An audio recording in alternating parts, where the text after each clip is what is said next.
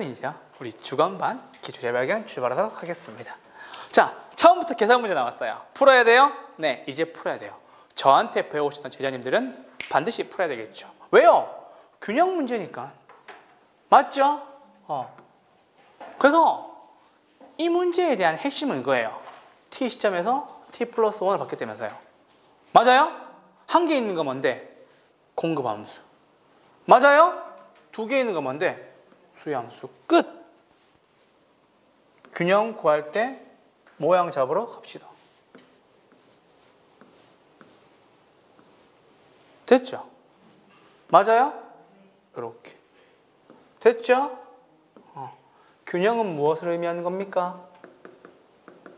Q, D와 Q, S가 같게 만들면 되는 거죠.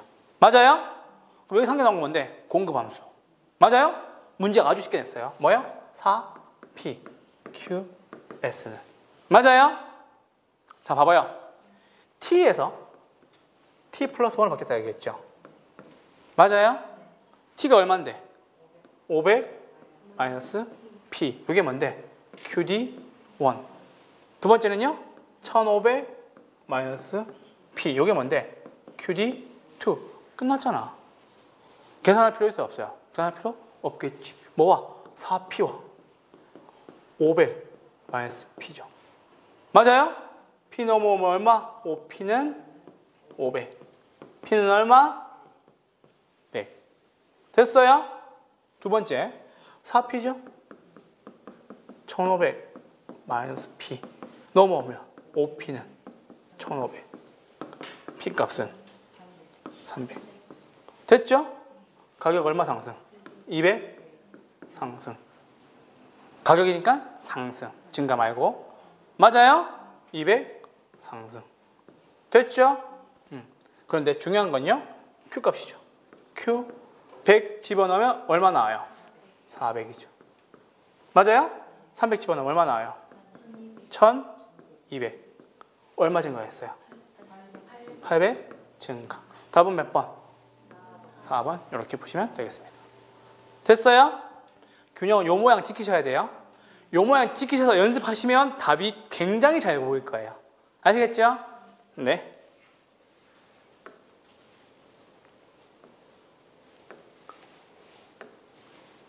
(2번입니다) 부동산 개발이 위험이죠 맞아요? 개발이면 세 가지 뭐 부동산 개발할 때 제가 뭐 걸린다고 맨날 얘기해요 그렇지 하, 좋았어 저한테 배웠다고 얘기해 아시겠죠? 됐죠? 어? 자 봅시다 민감도 분석 나왔어요 맞아요 틀려요 뒤에 지문 틀렸죠? 민감도 뭐예요? 투입 요소 대비 결과치 아야 말고 아야는 설명 기억하잖아 투입 요소 대비 결과치 이거죠 맞아요? 왜 아야만 기억해 뭐예요? 흡수율 분석 흡수율 분석 반대말 뭔데요? 팔리, 팔리겠니니까 반대말 뭐? 봄, 실, 이렇게 하셔야 되겠죠 맞아요?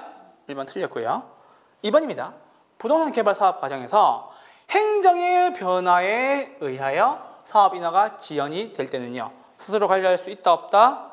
관리할 수 없는 위험에 해당한다 맞아요? 네 답은 2번이었습니다 됐어요? 음. 3번입니다 시장 위험을 줄이기 위해서 최대 가격 보증제도 나왔어요 이게 시장 위험이에요? 아니죠 무슨 위험이에요? 난리 난다 무슨 위험이에요? 그렇지 자, 잘 보세요. 법률적 위험을 줄이기 위해서는 무엇을 해야 돼요? 이용 계획이 확정된 토지를 구입해야 돼요. 비용 위험을 줄이려면 어떻게 해야 돼요? 나 돈 여기까지만 쓸게 최대 가격 보증제를 가입해야 되겠죠. 됐어요? 그래서 보세요. 개발업자가 초과되는 비용을 부담하지 않는다라고 나왔잖아요. 맞아요? 개발업자가 최대 가격 보증 제도를 통해서 뭐예요? 초과 비용 부담하지 않는다. 이렇게 하셔야 되겠죠. 4번입니다. 예측하기 어려운 시장의 불확실성은 뭐예요? 부동산 개발 사업에 영향을 주는 무슨 위험? 비용 위험? 아니죠. 무슨 위험? 무슨 위험? 시? 여러분, 자, 봐봐. 왜 이렇게 머뭇거리는 거지? 봐봐. 개발이 위험이죠. 여러분 부동산 개발하면 무조건 법적으로 시비 걸린다니까. 내가 그 얘기했잖아 맨날. 큰일 났네. 자, 저 봐요. 안 큰일 났다고? 그걸 물어봅시다. 부동산 투자의 위험 다섯 가지 뭐예요? 사업상, 금, 금융, 법률, 인플레, 유동성, 총위험 두 가지 뭐예요? 체계, 비체계, 개발의 위험 세 가지 뭐예요? 법, 시, 비. 오케이. 그렇게 하시면 됩니다. 아시겠죠? 지문에 위험이 뜨면 앞에 무엇이 나오는지에 따라서 요걸 쓰고 난 뒤에 보면 잘 보인다니까. 아시겠죠? 오케이. 자, 5번입니다. 워포드는 부동산 개발 위험을 세 가지 뭐? 법, 시, 비. 어제 틀렸어요? 사업상 위험이죠. 틀렸죠? 맞아요? 비용 위험이죠. 맞아요? 사업상 위험은 어디에서 있는 거예요? 투자의 위험에 있는 거죠. 이번의 답은 몇 번? 이번의 답은 2번이었습니다.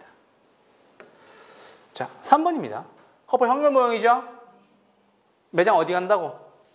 비매장을 방문한다고. 맞아요? 저와 함께 하셨던 분들은 이제 이거 푸는데 얼마 안 걸리죠? 맞아요? 자, 봅시다. X지역 현재 지금 몇 명? 5천 명. 얼마씩 쓴다고? 20만 원씩 쓴다고. 요거 곱하면 얼마 나와요? 얼마 나와요? 1억 나와요? 맞아요? 아, 1억에 10억 나와요? 10억? 10억이에요, 10억. 어. 10억 나와요? 어. 5천 명 곱하기 20만 원 하면 10억 나와요. 맞아요? 공간 맞춰기에서 얼마? 2. 됐죠? 맞아요? 음, 이렇게 하시고 자, 우리 여기서 기본적인 틀을 잡아서 하셔야 되겠죠. 맞아요? 제곱, 제곱, 제곱, 제곱이 아니라 공간 맞춰기수를 쓴 거죠. 왜요? 하프의 확률 모형이니까. 맞아요? 어, 하프 확률 모형은 거리의 공간 마찰계수분의 면적이니까. 맞아요? 그럼 비 올리면 되겠네요. 비하는 구하는 거니까요. 맞아요? 넘어가 보시죠. 10의 제곱분의 얼마? 500 더하기 5의 제곱분의 250 더하기 8의 제곱분의 320이죠. 맞아요? 무엇을 올리는데? 얘를 올릴 건데 계산을 하고 올리는 게 편하겠죠. 맞아요?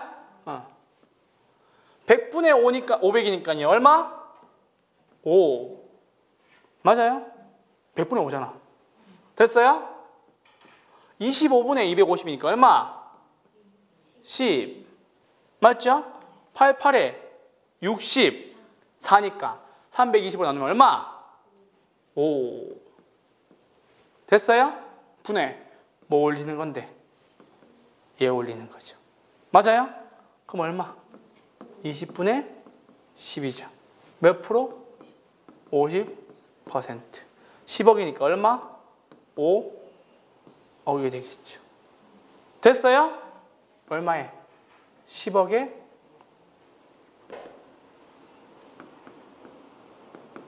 50%니까.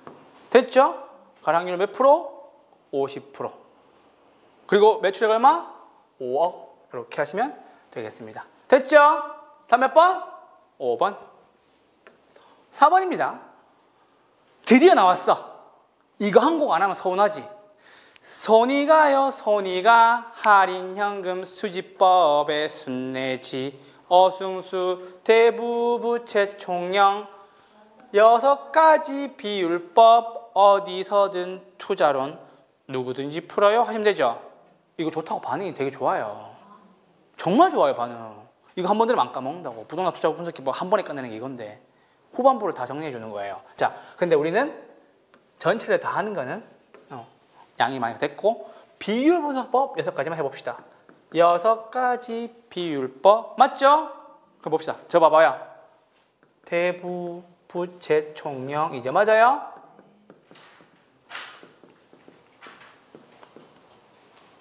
됐죠? 대부 비율이에요. 어떻게 해요? 뭐 분의 부동산의 가치분의 부채. 어, 부채로 드릴게요. 용자 말고. 오늘 원하는 거 해드릴게요. 가치분의 뭐? 부채. 맞아요? 어. 부채 비율은요? 그렇지. 지분분의 부채. 됐어요? 부채 비율이고. 이거 중에, 이거 중에 헷갈리면 안 돼요. 부채, 뭐? 감당률. 맞아요? 이건 앞에 있지. 제가 시험 칠 때 말씀하셨으니까. 맞아요? 무엇을? 순영업 소득을 부채 서비스액으로 나눈 값. 맞아요? 네 번째, 채무, 불, 이행률. 요건 뭐예요? 아니, 아니, 아니. 그렇게 하면 안 돼. 나 따라야 돼. 두 개 뭐 올라와야 돼요? 두 개 뭐 올라와야 돼요? 영업, 경비 분해. 아, 여기 경비 더하기 뭐? 부채, 서비스액, 분해, 나누기 뭐? 오케이. 유효, 총소득 이렇게 하시면 되죠. 맞아요? 어. 자, 그리고 잠깐만 좀 내려가야 될 것 같아요. 총 자산 회전율이죠. 회 맞아요? 그럼 뭐 분해? 뭐 분해? 맞아? 어. 총 수익 그쵸? 뭐로 나눈가? 총 투자액으로 나눈가. 됐어요? 음. 승수의 역수잖아. 승수는 투수니까 역수는 수투가 되겠지. 됐어요? 어.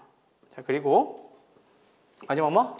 영업 경비 비율이죠. 맞아요? 영업 경비 비율은 뭐 분의 총소득 나와야 되는데 맞아요? 이게 가능인지 유효인지 준다고 말씀드렸죠? 맞아요? 위에 뭐 올라와요? 영업, 경비 이렇게 하시면 됩니다. 됐죠? 비율 분석법에 대한 여섯 가지 싹 다 정리해 드렸습니다. 됐죠? 어, 제가 드린 교재 자료에도 다 있어요. 걱정하지 마시고. 됐죠? 자, 1번입니다. 총자산 회전율은 맞아요? 지분 나왔어요. 틀렸죠. 맞아요? 뭐요? 총 투자액에 대한 총소득의 비율이다. 맞아요? 어, 가능 총소득으로, 아, 총소득으로는 가능이나 유효 총소득이 사용된다. 오케이, 맞습니다. 2번입니다. 부채 감당률은 유효 총소득을 부채 서비스에 나눈 값이다. 맞아요? 틀려요? 틀렸죠. 뭐예요? 순 영업 소득을 부채 서비스액으로 나눈 값이다. 라고 하셔야 되겠죠. 3번입니다. 부채 비율은 지분에 대한 부채의 비율로서 대부분 60%일 때 부채 비율 얼마? 150%. 다음 몇 번? 다음 몇 번? 3번. 자, 보시죠. 부채 비율이죠. 맞아요? 뭐 분해? 지분분해 부채였죠. 근데 이 지분 뭐로 읽었어요? 대한으로 읽었죠. 맞아요? 대한. 밑에 오면 되죠. 맞아요? 지분에 대한 부채의 비율. 맞아요? 자, 그리고 대부 비율이 대부 비율이 얼마? 100분의 60이죠. 이게 60%니까. 맞아요? 오케이? 그럼 100이 뭔데요? 부동산의 가치. 대부 비율이 얼마? 부채. 됐죠? 그럼 부채 비율 얼마라고? 150%라고 봅시다. 부채 비율. 맞죠? 그러면 지분이잖아요. 내 돈. 맞아요? 내 돈 얼마 들어갔어요? 몇 프로 들어갔어요? 몇 프로 들어갔어요? 40% 들어갔죠. 부채 얼마? 요거 얼마? 됐죠? 오케이? 어. 부채는 뭐예요? 지분에 대한 부채. 뭐 아시겠죠? 대부분은 뭐 가치에 대한 부채. 아시겠죠? 오케이? 음. 오케이 답은 3번이었습니다. 됐어요? 네. 자, 지분 비율 나왔어요. 맞아요? 지분 비율은 가치에 대한 융자액이 아니고 뭐 지분이라고 하셔야 되겠죠. 됐어요?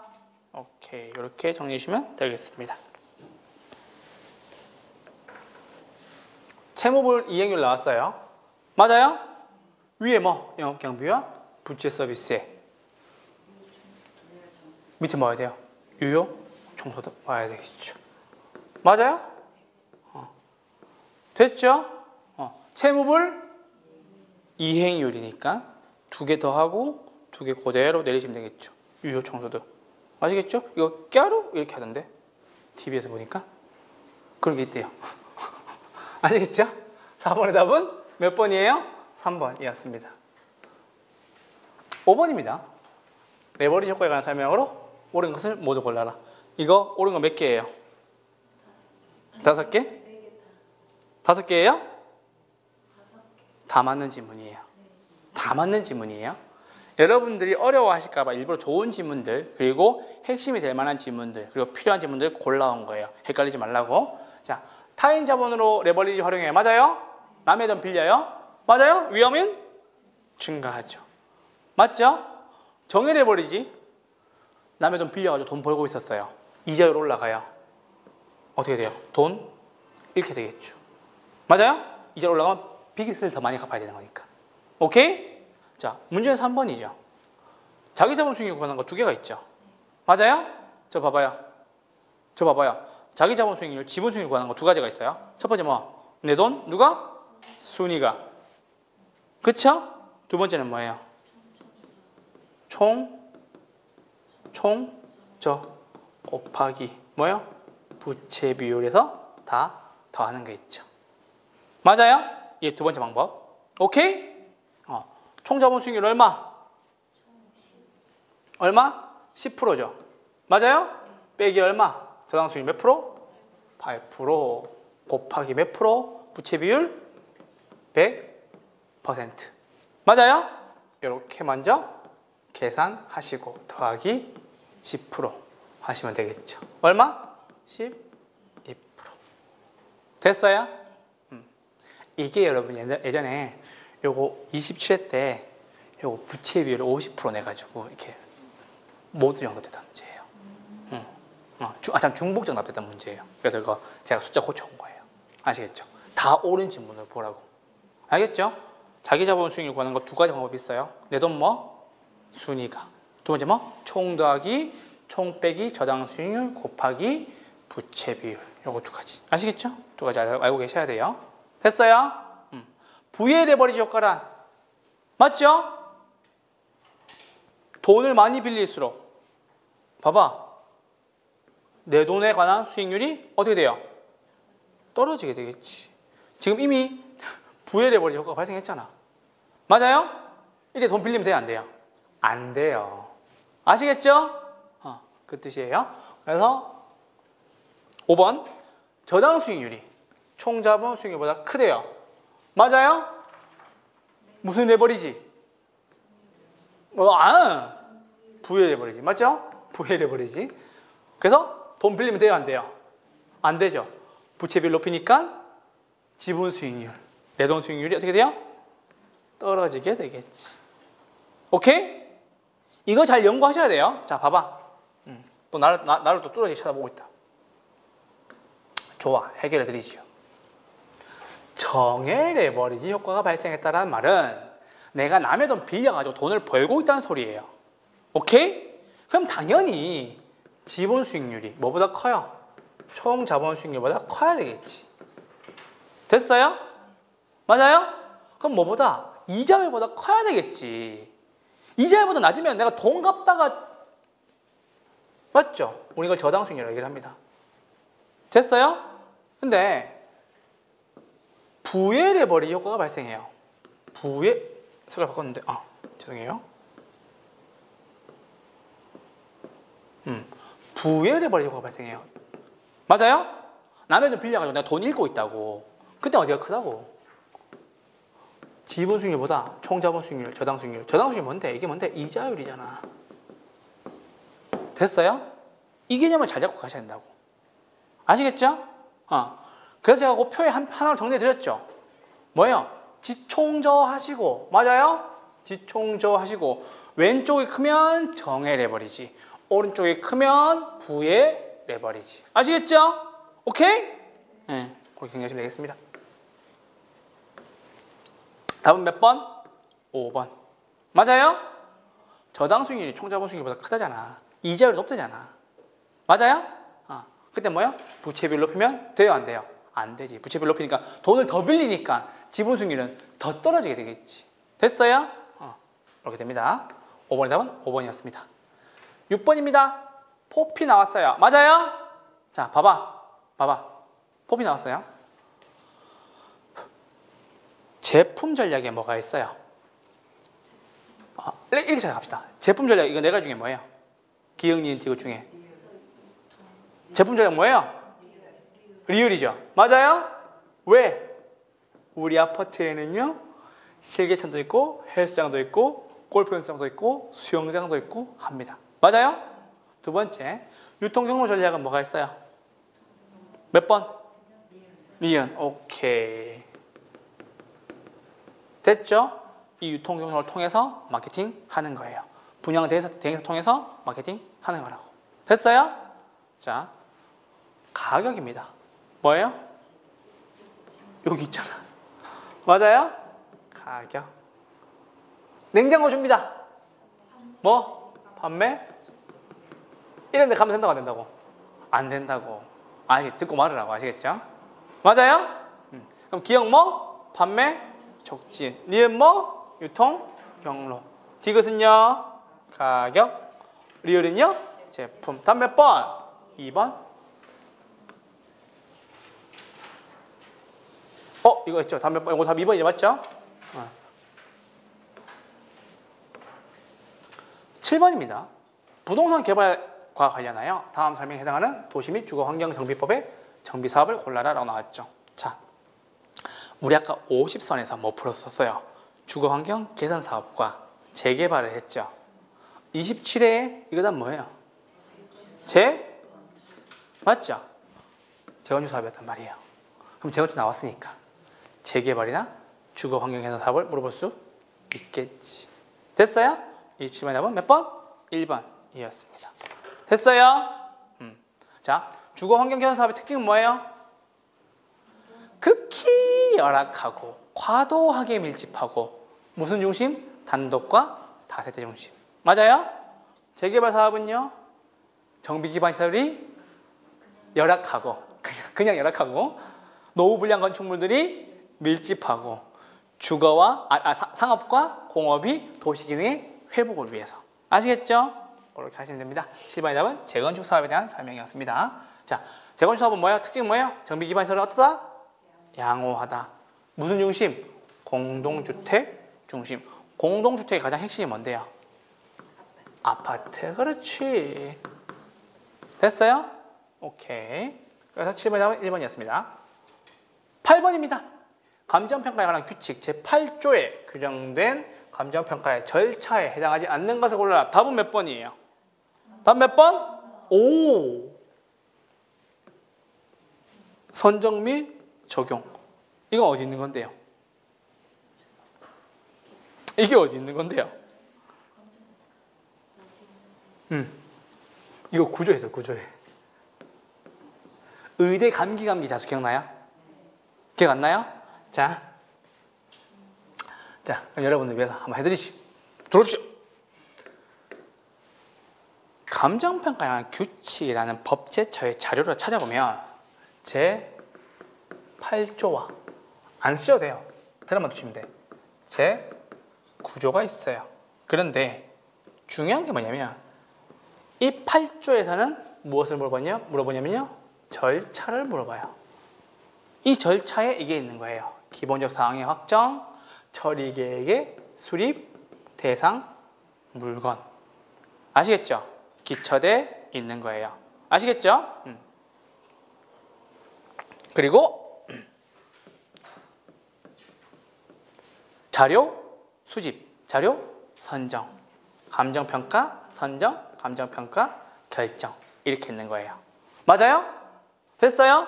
음. 그래서 8조의 절차에 해당하는 것은 뭐? 감정 평가에 대한 선정. 여기서 나온 얘기예요. 아시겠죠? 아, 근데 이 구조에 가면요. 무엇을 물어보냐면 기본적 사항의 확정을 물어봐요. 자, 잠깐만. 저 보세요. 봐봐. 감정 평가할 때 무슨 순서대로 하니 이렇게 물어봤어요. 첫 번째 뭐 한다고? 기본적 사항을 확정한다고. 처리 계획을 수립한다고. 대상 물건, 그쵸? 자료 수집, 자료 수집, 자, 자료 수집 및 선정, 그리고 자료 수집 및 검, 자료 검토. 오케이? 자료 수집, 자료 검토. 맞아요? 감정평가, 선정, 감정평가, 결정 이렇게 한단 말이에요. 그런데 구조에 가서 무엇을 하고 싶으냐면요. 예를 떼오는 거야. 기본적 사항 확정. 무엇을 했니? 아시겠죠? 8조와 구조의 연관성이 이거예요. 됐어요? 뭐 해요? 그렇지. 의대, 감기, 감기, 자수. 맞죠? 그 기본적 사항의 확정에 이렇게 가 있다고요. 뭐 의뢰인, 대상 물건, 감정 평가의 목적, 기준, 시점, 감정 평가의 뭐예요? 조사, 기준, 가, 기준, 가치, 그리고 뭐예요? 자문, 용역, 수수료, 그리고 뭐예요?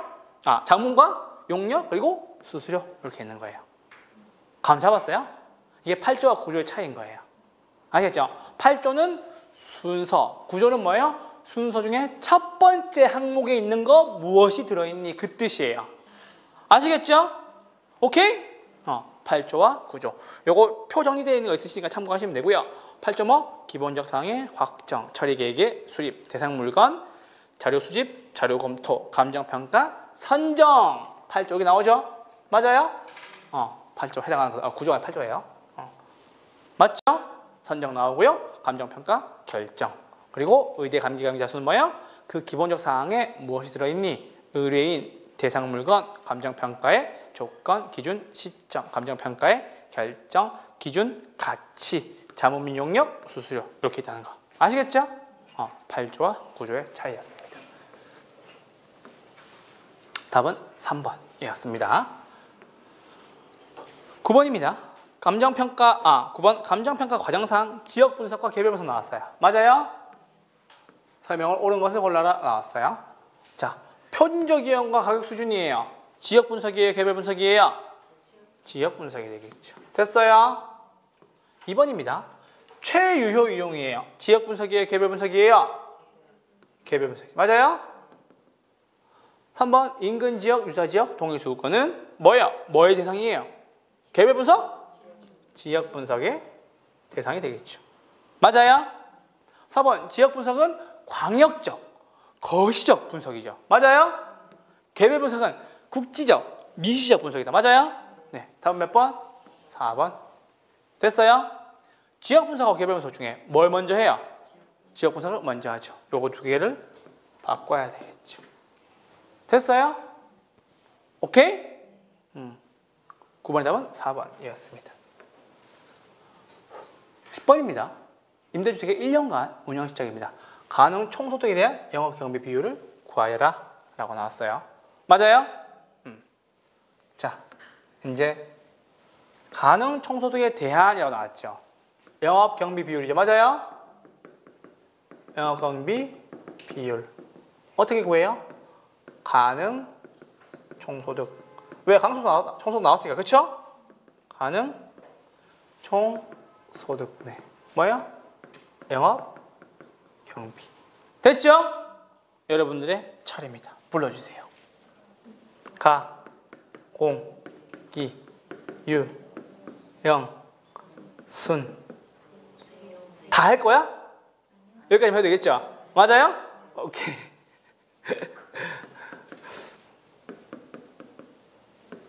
됐죠? 음, 가능수소 얼마예요? 요거 얼마예요? 가수 얼마? 천만 원씩 서른 개 있어요. 얼마예요? 얼마? 3억이죠. 맞아요? 천만 원 곱하기 30. 됐죠? 공식 있어요? 네, 있네요. 5%. 3억이 5%니까 얼마예요? 얼마? 3억이 5% 얼마예요? 천 얼마야? 150만 원. 맞아요? 기타소 있어요, 없어요? 있어요, 없어요? 음, 기타소 없죠? 150만 원 아니잖아. 1,500만 원이잖아. 어, 나한테 왜 자꾸 150만 원 눈빛을 보내요? 1,500만 원. 나보고 100, 나보고 그러는 거야. 잠깐만 뺐어. 기타소 없죠? 얼마예요? 2억 8,500만 원 되겠죠. 맞아요? 됐어요? 근데 순영업소 나와 있죠. 얼마야? 2억 5,500만 원. 됐어요? 영업 경비 얼마예요? 영업 경비 얼마? 영업 경비 얼마예요? 3천만 원이겠지. 잠깐만요. 할 필요 없잖아. 여, 여기에서 이거 빼면 되잖아요. 맞아요? 3천만 원이죠. 그럼 얼마? 영업 경비 얼마? 3천만 원. 됐죠? 가원청소가 얼마였었어요? 3억이었죠. 3억 분의 3천만 원이니까 몇 프로? 10% 이렇게 보시면 되겠습니다. 답은 몇 번? 답은 1번 이렇게 보시면 되죠. 됐어요? 음. 그래서 비율 분석법에서 혹시나 문제가 나온다면 은 뭐예요? 공식 이렇게 쓰시고 오케이? 영업 경비 비율 구하는 굉장히 특이한 문제를 하나 가지고 와본 겁니다. 아시겠죠? 어, 이렇게 해서 기출의 재발견까지 마무리를 지었습니다. 이렇게 해서 오전반 수업 오늘 끝냈고요. 기출 재발견 문제 챕터 7 되게 중요한 문제들로 구성이 되어 있으니까요. 반드시 복습을 좀 부탁드리겠습니다. 건강하시고요. 다음 주에 뵙도록 하겠습니다. 고맙습니다. 수고하셨습니다.